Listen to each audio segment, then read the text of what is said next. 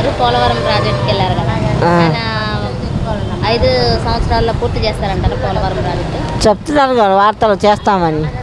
అదే మీ ఉద్దేశం ప్రకారం చేస్తారంటారా? చేస్తారని చెప్తున్నారు కదా.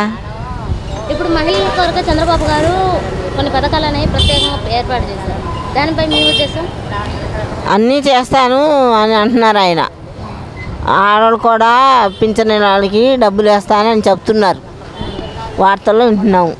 ఇప్పుడు చంద్రబాబు గారు పెట్టిన అన్ని పథకాలు లాభమేనంటారా? లాభం ఏమంటే అండి బాగా చేస్తానంటే లాభమే. అంటే ఇప్పుడు ఫ్రీ బస్సులు అలాంటివి పెట్టడం ఫ్రీ బస్సులు చెప్పారు కానీ ఇంకా పెట్టలేదుగా. ఇప్పుడు అవి పెట్టడం వల్ల కొంతమంది ఆటో డ్రైవర్లకి ఇబ్బంది ఉందని ఆటో వాళ్ళు మళ్ళీ ఇబ్బందే కదా వాళ్ళకి వాళ్ళ కిరాయిలు దొరకవుగా అవి పెడితే. ఫ్రీ ఉన్న బస్సు ఎక్కుతారు కానీ డబ్బులు ఇచ్చి ఆటో ఎక్కరు కదా ఎవరైనా సరే. ఇప్పుడు నేనే ఉన్నాను ప్రస్తుతానికి పనికి వెళ్తాడు ఇది? ఫ్రీ వచ్చి బస్కి వెళ్తాను కానీ ఆటోకి డబ్బులు ఇచ్చి ఎట్లా వెళ్తానండి?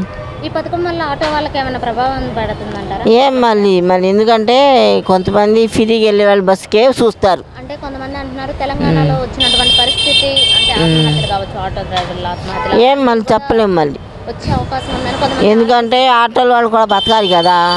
ఈ ఫ్రీ బస్సు మీద అందరూ డబ్బులు ఇచ్చి వెళ్తారు కానీ డబ్బులు లేకుండా వెళ్తారు కానీ డబ్బులు ఇచ్చి ఎవరు వెళ్తారండి? వెళ్ళరు కదా? ఇప్పుడు లోకేష్ గారు కూడా వంద రోజుల్లో గంజాయి అనేది అసలు లేకుండా చేస్తానని చెప్పారు. అది పూర్తి చేస్తారంటారా? ఏది చేయలేదుగా. గంజావాళ్ళు తిన్ తాగుతానున్నారు తింటానున్నారు తిరుగుతానున్నారు. గంజాయి ఎక్కడ మాఫీ అయింది. మొన్న పెట్టి ఇట్లా గంజాయి అనేది నిర్మూలిస్తాను వంద రోజుల్లో అని చెప్పారు. మళ్ళీ ఏం చేస్తారు? ఐదు సంవత్సరాలు ఆయన ఉన్నారు. ఈ పిల్లలు ముందు వయసు పిల్లలు పాడైపోతున్నారు. ముందు ముసలాడు ముతుకలు తాగుతలేదు అది. వయసు పిల్లలు పిల్లలు తాగుతున్నారు గంజాయి. తాగి పోటాడుకుంటాం మళ్ళీ ఏమో ఇచ్చేసుకుంటాం పు- కొట్టుకుంటాం అట్లాంటి పనులు చేస్తున్నారు. ఇప్పుడు మద్యం ధరలు కూడా నిర్మూలిస్తాము తగ్గిస్తాము అది అని అంటున్నారు. దానివల్ల ఉపయోగం ఉందంటారా? మళ్ళీ ఉపయోగం లేదా? మళ్ళీ తాగి వాళ్ళు మగాళ్ళు తగ్గించారనుకోండి వాళ్ళు తగ్గిస్తే వాళ్ళకి లాభమే కదా ఆడవాళ్ళకి. రూపాయి బాబాయ్ తీసుకొచ్చి భర్త ఇంటికి వస్తుందిగా. తాగిపో మొత్తం వెళ్ళి సారా కొట్టుకేసి వస్తే ఇంటికే వస్తుంది రూపాయి. తాగే వాళ్ళు ఇంటికి రూపాయి రావట్లేదు. ఎంత పిల్లలు పెద్దలు బాధపడుతున్నారు రూపాయి రాకుండా? అది. వస్తువులు కానీ కరెంటు బిల్లులు కానీ ఇవి. పెంచము తగ్గిస్తాం ఏమి చెప్తున్నారు మళ్ళీ తగ్గియాలి కదా. తగ్గిస్తామని చెప్తున్నారు. ప్రకారం తగ్గిస్తారా? తగ్గిస్తారని చెప్తున్నారు. మనం వాళ్ళు చెప్పేదాకా తగ్గించేదాకా మనం చెప్పలేము కానీ నమ్మకం. కొన్ని మంచి పనులు చేశారు. ఇప్పుడు నాకు నలభై సంవత్సరాలు. నలభై సంవత్సరాల డబ్బులు వేశారు ఆయన. నాకు పింఛన్ రాదు. వేశారు. మళ్ళీ ఏంటో మళ్ళీ ఆయన దిగిపోయారు. మన మనకు తెలియదు అది.